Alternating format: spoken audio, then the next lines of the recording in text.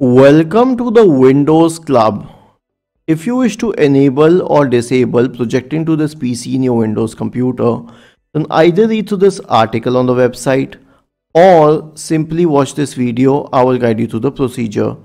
Right click on the start button and select settings. In the settings window, go to the system tab on the list on the left hand side. In the right pane, scroll down and click on projecting to this PC. Now you may not see this option here because wireless display is not even added.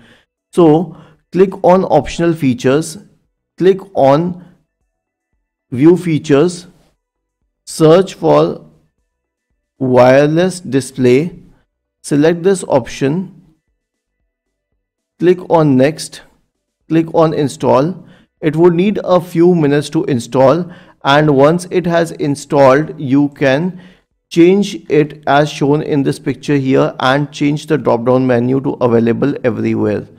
We can wait for a few seconds for it to download. Once it has downloaded return to the original screen then change this always off to available everywhere.